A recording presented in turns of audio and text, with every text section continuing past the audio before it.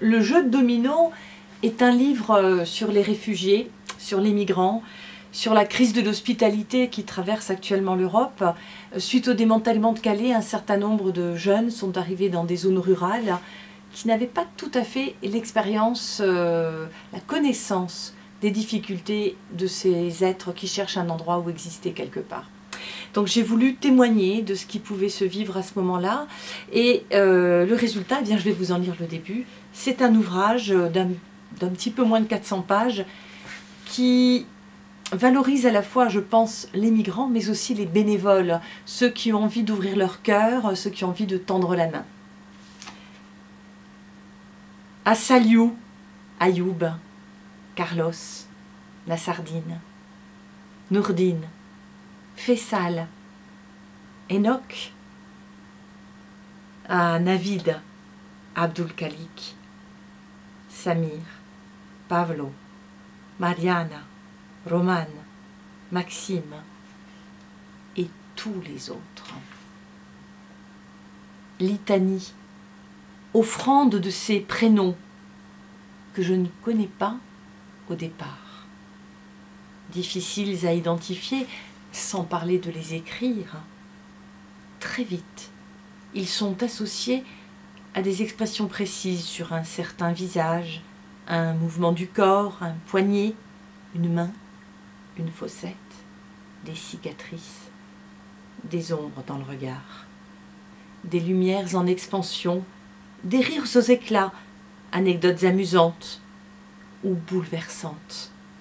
Appellation devenant peu à peu aussi familière à l'oreille que Patrick, Jean, Pierre ou Daniel.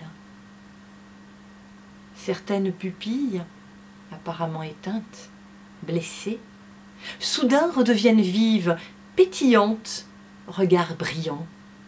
Ces garçons nous regardent dans les yeux, sourient de toute l'intensité possible, attachant. Ils s'empressent de nous serrer la main en nous voyant, disent Bonjour, ça va? Comme si c'était un seul mot, avec gentillesse, puis reprennent, affairés, leur chemin tout wash pour aller faire leur lessive, ou pour rejoindre le terrain de football, ou encore ils se penchent brusquement sur l'écran de leur téléphone, absorbés. Certains gardent des écouteurs sur les oreilles. Pas pour écouter de la musique, non. Recroquevillés, la tête penchée.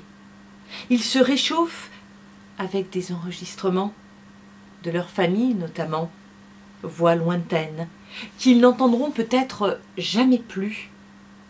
Parfois, ils s'excusent. Five minutes, please. Cinq minutes, s'il vous plaît. S'éloignent, on ignore pour où, leur chambre, ailleurs, reviendront ou pas. Tous sont maigres. L'un d'eux mesure un mètre quatre-vingt-dix-huit. Ce garçon m'explique que c'est comme ça chez lui. Il fait le geste avec la main tout en haut. Mama grand. Papa grand. Sister grand. Son regard se brouille. Il n'en dira pas plus pour cette fois. Ils ont en commun d'avoir derrière eux une histoire compliquée, un parcours de vie marqué par des fractures, des ruptures, un présent dont ils ignorent comment il va se dénouer.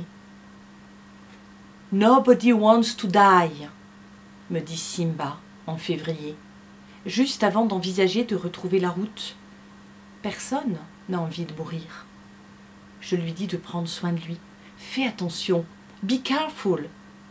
Il a pleinement conscience qu'en tentant de passer en Angleterre, Yuka, comme ils disent tous, la situation peut dégénérer. Ni eux, ni nous ne savons ce qui les attend. Quel avenir leur sera réservé? Et voilà qu'ils sont ici, à Tourment les petites baraques, pour quelques mois, cinq maximum, dit-on au départ, pour de l'accueil et de l'orientation.